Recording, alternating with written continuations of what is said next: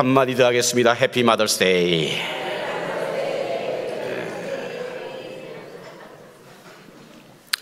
오늘은 어머니 주일을 맞아서 제가 우리 교회 출석하고 계시는 어머니들에게 어떤 것으로 선물을 좀 할 수 있을까 생각을 했습니다. 식사를 한번 거하게 대접을 해야 하나, 그렇지 않으면 선물을 준비해야 하나 생각을 하고 있다가 역시 목사는 가장 좋은 선물이 어, 생명의 말씀으로 우리 부모님 잘 섬기라고 하는 말씀, 그리고 건강하시라고 하는 말씀, 이런 말씀을 드리는 것이 가장 귀하겠다 생각해서 말씀을 짧게 드리는 것이 가장 귀한 선물이라. 그런데 그 선물이 오늘 될지 안 될지 잘 모르겠습니다. 지금 우리는 하나님을 아는 지식에 대한 말씀을 시리즈로 이어가고 있습니다. 지난주에는 어린이 주일임에도 불구하고 이 말씀을 나누었는데요. 바로 알아야 바로 믿고 바로 믿어야 능력 있는 그리스도인이 될 수 있습니다. 바로 알지 못하면 바로 믿지 못하고 바로 믿지 못하면 그야말로 경건의 모양만 있지 경건의 능력이 사라지는 겁니다. 그래서 그 말씀을 시리즈로 이어가고 있는데요. 오늘은 어머니 주일이라 그냥 넘어갈 수 없어 다시금 부모 공경에 관한 말씀을 끄집어 내었습니다. 사람들은요, 기독교를 불효 종교라고 말합니다. 그 이유가 바로 제사를 드리지 않는다는 이유 때문이죠. 천하에 몹쓸 짓을 한 폐륜아들도 기일이 되면 어, 부모에게 제사를 드리는데, 돌아가신 분에게 제사를 드리는데, 기독교인은 제사를 드리지 않지 않습니까? 그래서 기독교가 불효의 종교다. 이렇게 생각합니다. 그런데 정말 그럴까요? 그렇지 않는 이유가 두 가지 있습니다. 뭐 많지만 언뜻 생각나는 두 가지만 생각해 보면 첫째로 기독교는 부모 공경을 계명으로 여깁니다. 계명으로. 개인의 양심에 따라 윤리적인 문제나 도덕적인 문제가 아니라 하나님의 준엄한 명령을 어, 가진 어떤 계명으로 부모 공경을 말하고 있습니다. 이 굉장히 중요한 문제입니다, 여러분. 왜냐하면 윤리적인 문제로 본다고 한다면 부모 공경을 하지 않는다고 해서 처벌을 받거나 혹은 제재를 받지 않습니다. 그래서 다분히 부모 공경은 선택적이죠. 하지만 이것이 계명이라고 얘기할 때는 달라집니다. 이것을 지키지 않을 때는 죄로 여겨 벌을 받을 수 있고 그래서 그리스도인에게서는 필수적인 것으로 보입니다. 성경은 이를 뒷받침해주고 있습니다, 여러분. 이스라엘 공동체를 향하여 성경은 이렇게 말하고 있는데요. 출애굽기 21장 15절에 보면 자기 아비나 어미를 치는 자는 반드시 죽일지니라. 계명입니다. 계명. 신명기서 21장에 보면 폐역한 아들과 부모의 말에 순종치 않는 불효 행위를 악이라고 규정하고 그를 돌로 치라. 이 공동체에게 말하고 있는 거예요. 이스라엘 공동체에게. 만약에 너희 회중에 이와 같은 일이 있거든 그를 벌하라고 하는 이야기죠. 왜? 계명이기 때문에 그렇습니다. 그래서 부모를 경시하는 자에게 매우 무거운 형벌을 말하고 있는 계명이 바로 부모 공경입니다. 이게 기독교가 가리키는 겁니다. 두 번째는 우리가 본받고 따라야 할 예수님께서 부모 공경의 삶을 사셨습니다. 성경에는 예수님의 어릴 적 시절을 잘 다루고 있지 않습니다. 그래서 어릴 적에 어떤 삶을 사셨는지 잘 모릅니다. 근데 누가 보면 2장에 보면 예수님의 어릴 적 시절에 잠깐 모습을 비춰주는 장면이 있는데 그것은 바로 절기를 맞아서 예루살렘을 방문하셨을 때에 그곳에서 돌아오는 길에 예수님만 예루살렘 성전에 남아 있었고 마리아와 마르, 어, 요셉과 마리아는 어, 요셉 어, 예수님이 없이 고향으로 갈릴리로 돌아가게 될 때 있었던 사건입니다. 아마도 마리아가 어, 찾아보니까 예수님이 안 계시길래 요셉 그 아버지의 손을 잡고 가, 미리 갔을 것이라 생각하고 후에 따라가 보았더니 안 보이는 거예요. 큰일 났죠. 소동이 났습니다. 그래서 다시 예루살렘 와 보니까 성전에 떡하니 제사장들과 말씀을 가지고 서로 논쟁을 하고 있네. 마리아가 크게 놀라 어, 예수님께 다가가서 왜 어떻게 여기 있느냐 아, 이렇게 꾸짖으니까 예수님께 사실 말씀 뭡니까? 내 아버지 집에 내가 있는 것이 무슨 문제냐 그러니까 예수님은 이미 12살 때부터 하나님의 아들임을 스스로 알게 되었다는 사실을 말해주고 있습니다. 그럼에도 불구하고 누가복음 2장 51절에 보니까 예수님께서는 나사렛에 가서 순종하여 받더니라. 부모에게 순종하여 받들었다는 겁니다. 이것은 바로 우리에게 우리 부모들에게 어떻게 해야 하는 것을 삶을 통해서 보여주신 본으로 보여주신 일입니다. 주님 스스로 당신이 하나님의 아들임을 알매도 불구하고 육신의 부모에게 순종하여 어, 받드심으로 주님을 따르는 많은 자녀들과 오늘 우리에게 본이 되셨다는 사실인 겁니다. 그렇습니다, 여러분. 기독교는 분명 부모 공경을 법으로 정하여 지키겠고 예수님은 그 가르침에 충실한 삶을 살으셨습니다. 만일 부모 공경을 하지 않는 사람이 있다고 한다면 그리스도 있다고 한다면 이는 가르침을 따르지 않거나 그 가르침을 편리대로 오용한 사람들입니다. 실제로 그런 사람이 있잖아요. 소위 말하는 고르반법, 고르반. 하나님께 드린다라고 하는 신께 드린다라고 하는 뜻을 가진 고르반은요. 유대인들이 부모 공경에 대한 의무와 책임을 하지 않기 위해서 장로의 유전에 따라 만든 것입니다. 그러니까 부모에게 공경해야 될 어떤 것이 있는데 부모에게 공경하지 않기 위해서 이것을 신께 드린다고 하는 그런 제도가 바로 고르반이거든요. 예수님께서 이를 두고 크게 화를 내셨지 않습니까, 여러분? 하나님의 법을 하나님이 정하신 부모 공격의 계명을 사람이 정한 것으로 바꾸었다고 엄중하게 꾸짖으시는 주님의 말씀이 있습니다. 그렇습니다, 여러분. 기독교는 부모 공경이 단순한 선행이 아닙니다.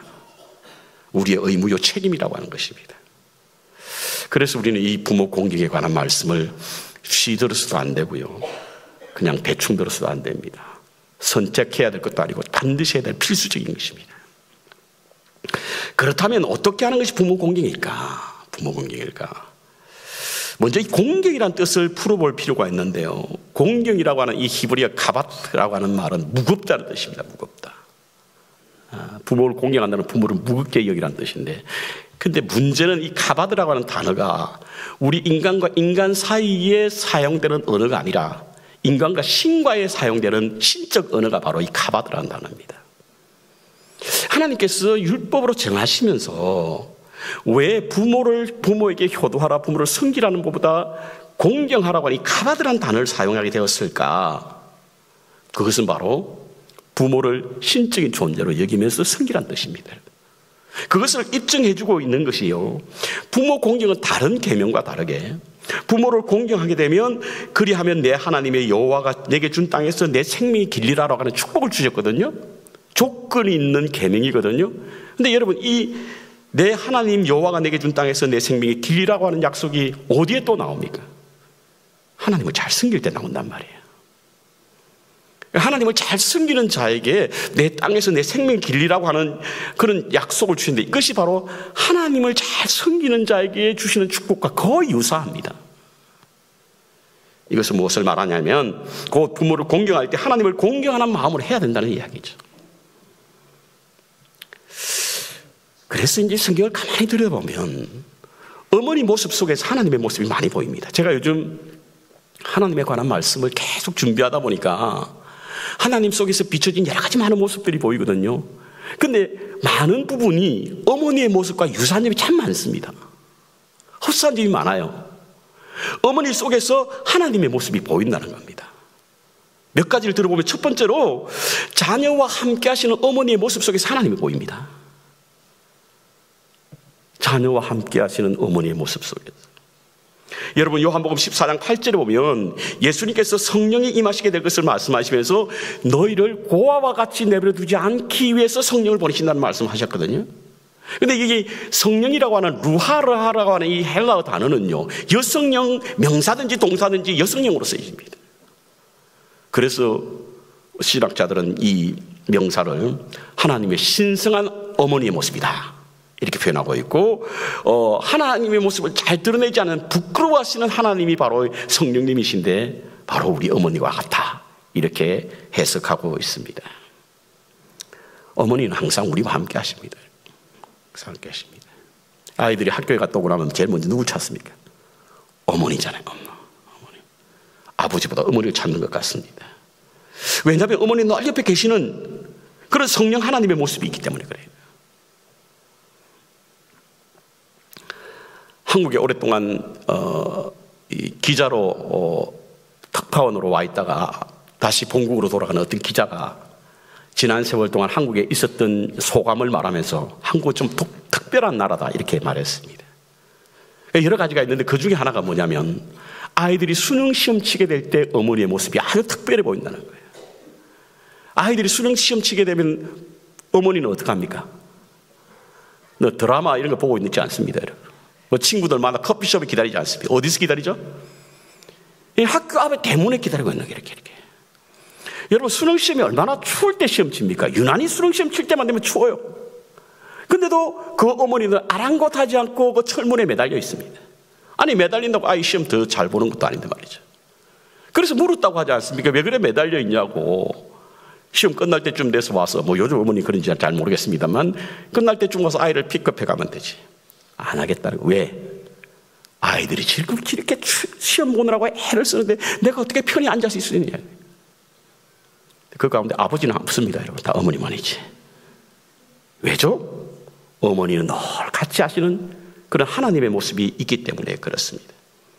그래서 아버지는 자신을 지켜주는 든든한 신이라고 한다면 어머니는 언제나 자신의 곁에 있어 주시는 분이라고 말을 합니다. 그 모습 속에서 하나님이 늘 우리와 함께 하시면서 세상 끝날까지 내가 너희와 함께 할 것이라고 하는 이 모습 속에서 어머니의 모습이 보입니다. 두 번째로는 하나님의 사랑에서 어머니의 모습을 보게 됩니다. 여러분, 하나님 사랑이 어, 우리 헬라어로 뭐라고 그러죠? 아가페라고 하지 않습니까? 희생적 사랑. 어머니 사랑을 뭐라고 말합니까? 희생적 사랑이에요.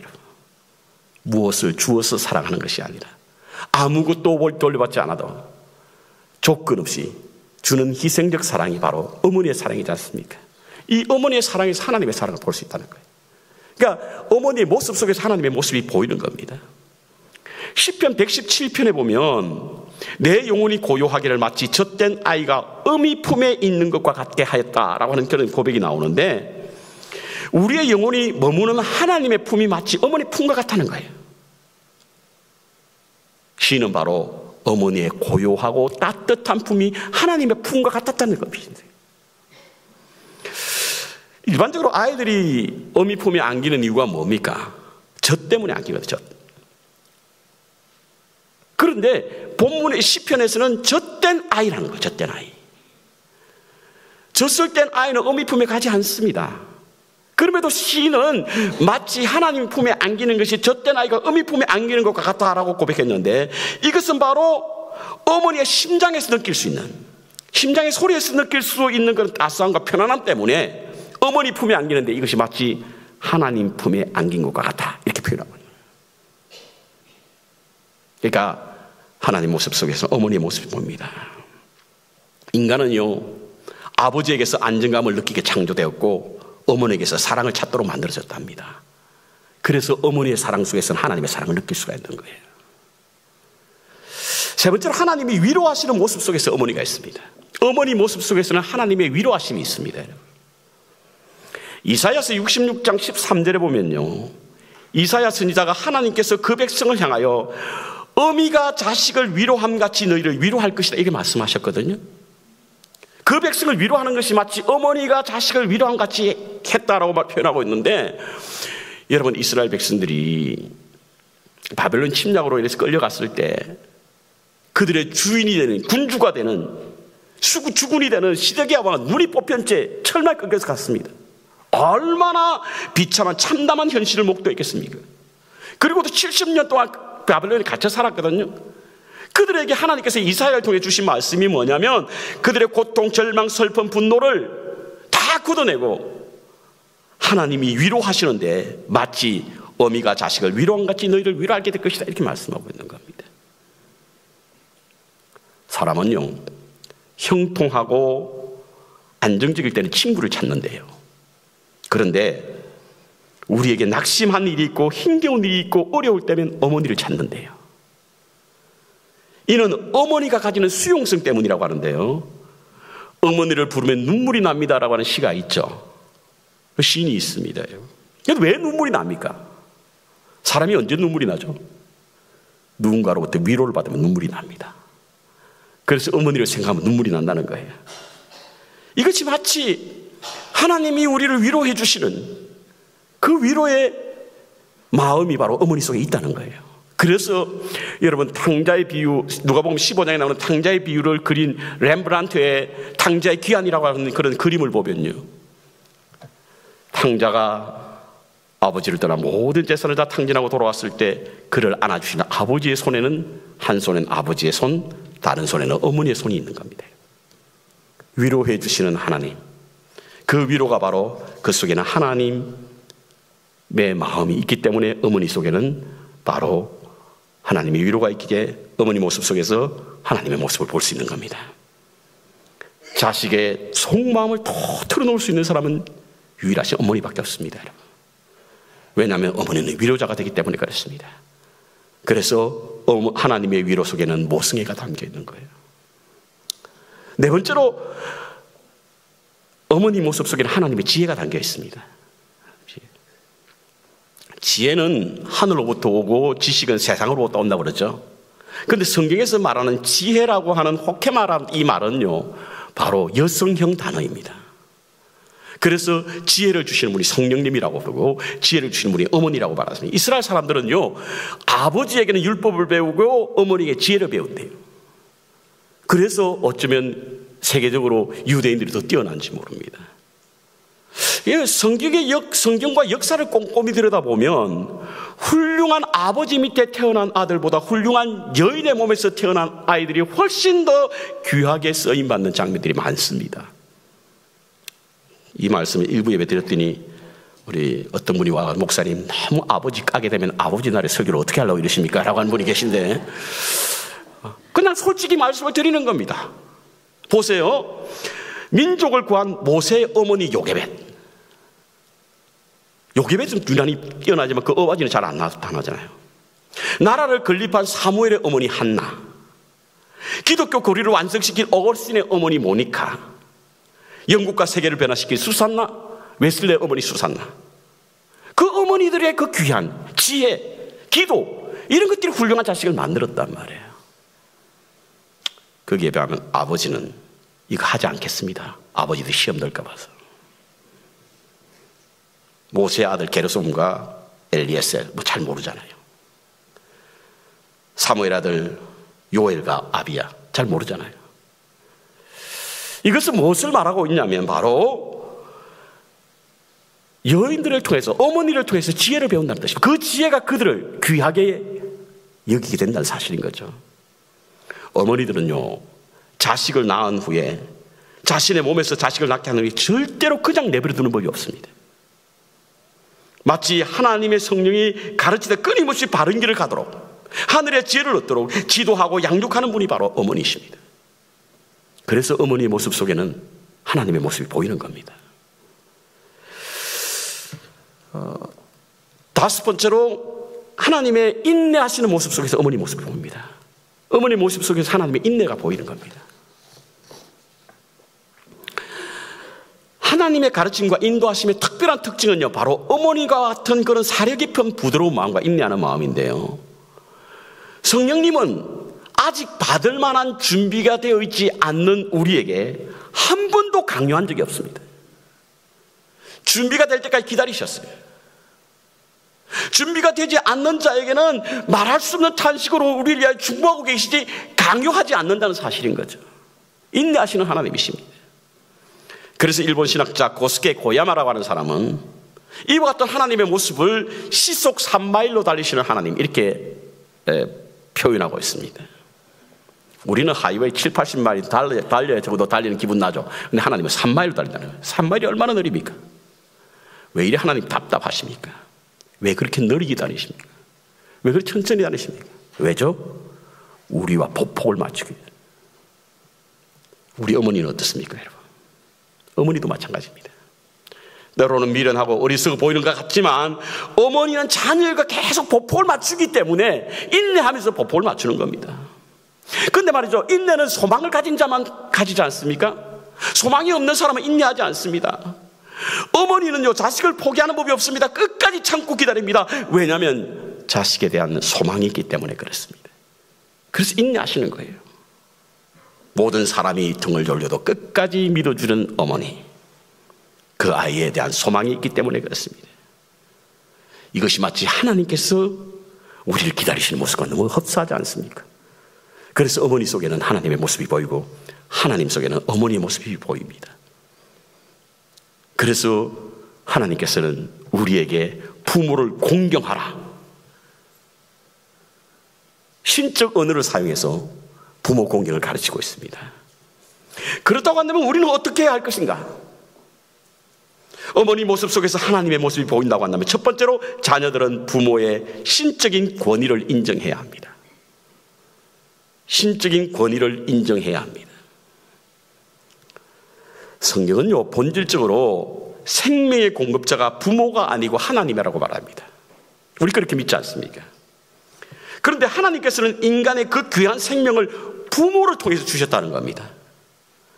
왜냐하면 하나님은 부모를 당신의 대리자로 여겼기 때문에 그렇습니다. 탈무드에 보면요. 하나님은 세계 모든 의리를 다 기를 수 없어서 어머니에게 맡겼다라고 하는 말씀이 나오는데 이는 하나님 안에서 하나 어머니의 이미지를 발견할 수 있고 어머니 모습 속에서 하나님의 모습을 찾을 수 있기 때문에 그렇습니다. 우리 부모는 하나님과 똑같이 생명의 원천이란 지위를 주셨고 하나님의 권위를 주셨습니다. 저와 여러분은 부모로부터 생명을 받았지 않습니까? 그래서 자식 없는 부모는 있지만 부모 없이 태어난 자식은 없다라고 하는 말을 합니다. 공경하라는 이야기죠. 그렇다고 하면 공경이란 말의 의미는 경외하라고 하는 말과 거의 함께 쓸 수도 있습니다. 곧 하나님을 경외하듯 부모에게 복종하라는 이야기죠. 예배소서 6장에 보면 사도 바울 선생이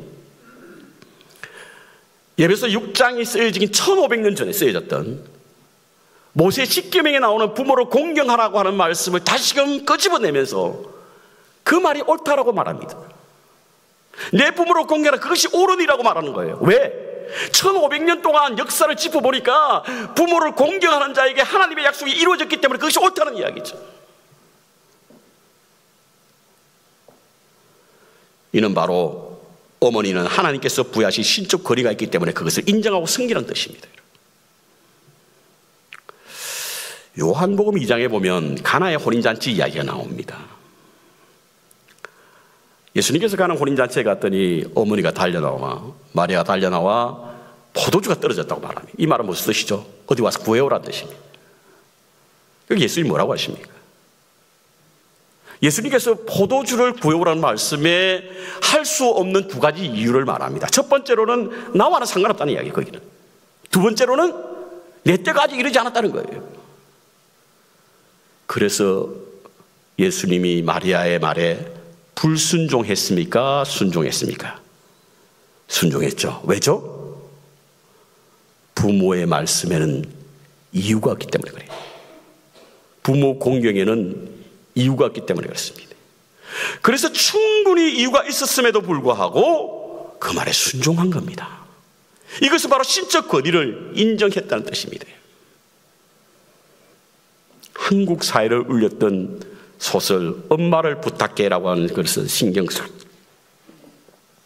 이 신경숙 씨가 이 책을 쓰게 되었던 이유는 바로 그가 이태리를 방문했을 때 그 피에타 미켈란젤로가 만들었던 조각했던 피에타 이그 조각상을 보고 여인이 아들을 안고 있는 이 모습 속에서 자신의 어머니를 발견하게 됐다는 겁니다.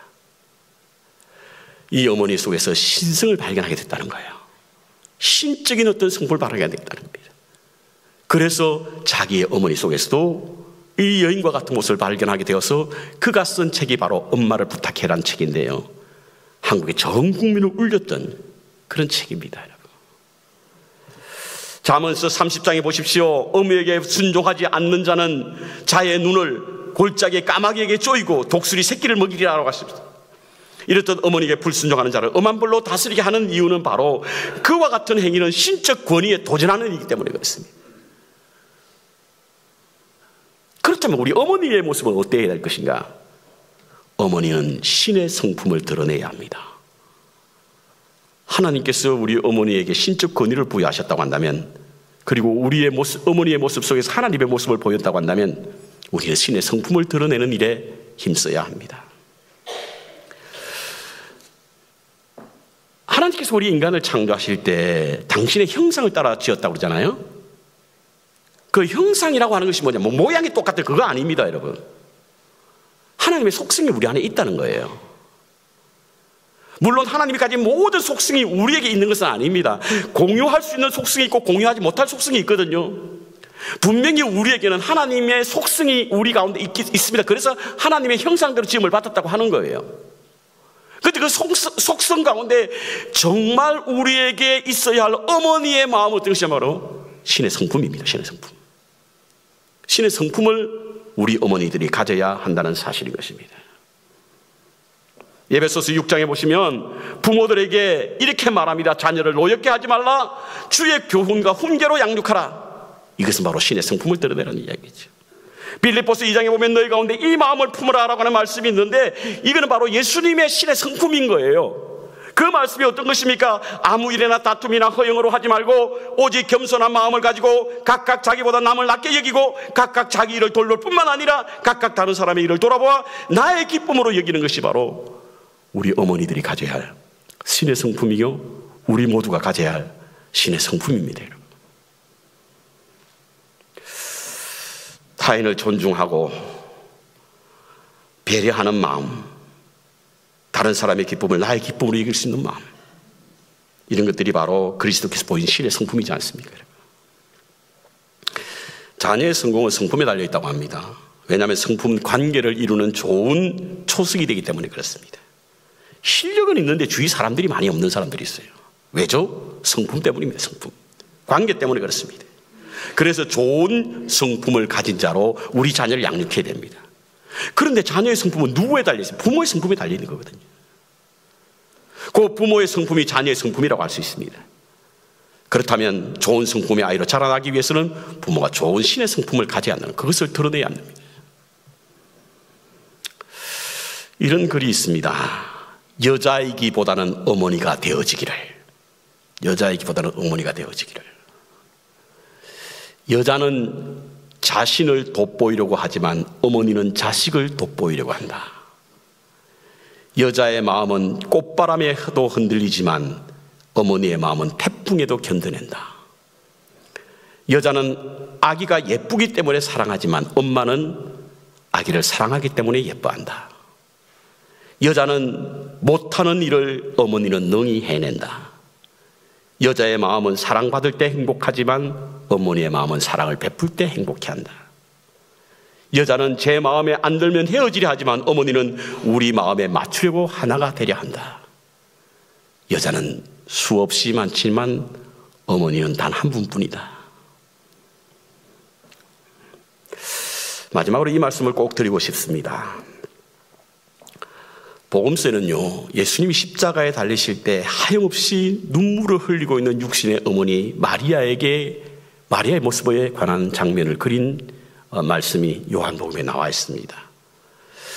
예수님께서는 그 밑에 슬피 울며 아파하는 어머니를 향하여 아들입니다. 라고 말합니다. 그리고는 그 옆에 있는 제자를 향하여 내 어머니다. 이렇게 말하고 있는 거죠.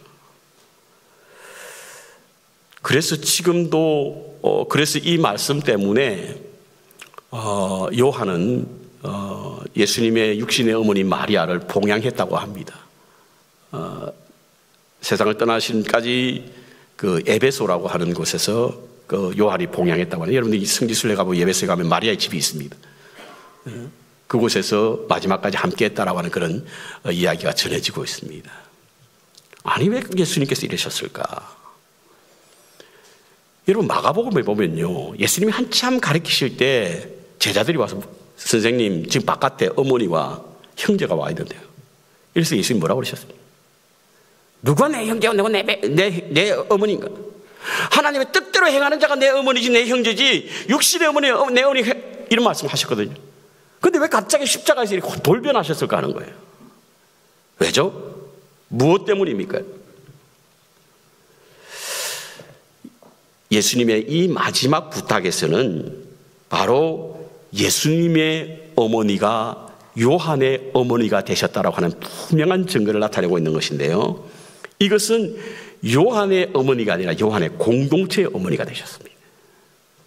바꿔 말씀을 드리면 그녀는 육신의 어머니, 한 아들의 어머니가 아니라 교회 공동체 안에 있는 신앙의 어머니가 된 겁니다. 하나님께서는, 예수님께서는 우리 어머니에게는 혈연의 관계, 가족 관계를 넘어서 하나님의 나라를 관계를 맡게 된 겁니다. 그래서 그 어머니가 그 공동체 어머니가 되었고, 그리고 모든 사람들의 어머니가 된 겁니다. 이것은 오늘 우리에게 어떤 의미를 주냐는 거예요. 우리 교회는 혈연의 관계가 아니라 하나님의 나라의 영적 관계지 않습니까? 그렇다고 한다면 우리 혈연적 관계가 있지 않는 어머니랄 때 우리의 어머니가 되는 거예요. 만백성교회 공동체도 하나님의 나라를 의존하고 살아가는 거룩한 모임이기 때문에 하나님의 나라를 관계 맺고 있는 신앙 공동체거든요. 교회 안에서 핏줄을 무시할 수는 없지만 그것에 얽매여서는 안 됩니다. 혈연 중심의 관계를 떠나서 하나님 관계 중심으로 발전돼 나가야 되는데요. 이것이 바로 예수님의 가르침이고 이것이 우리 공동체 어머니를 우리의 어머니로 섬기게 할 이유입니다. 여기 계신 모든 어르신이 교회의 어머니요 신앙의 어머니입니다. 그분을 공경해야 합니다. 어머니는 신의 화신이며 어머니의 모성에는 신의 성품이라고 하는 말이 있습니다. 자녀들은 어머니의 신적 권위를 인정함으로 공경하시기 바랍니다.